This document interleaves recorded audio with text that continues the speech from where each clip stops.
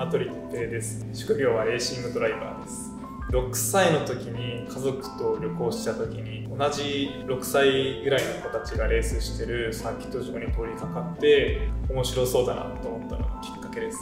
勝負の世界なんで技術的な面で一目置かれることが大事だなとは思ってます。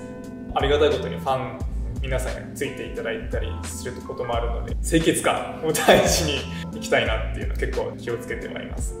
シャンプーしてトリートメントすると結構何もつけてなかったかのように落ちやすくて毎日使ってもストレスがないなっていうのはすごい感じました。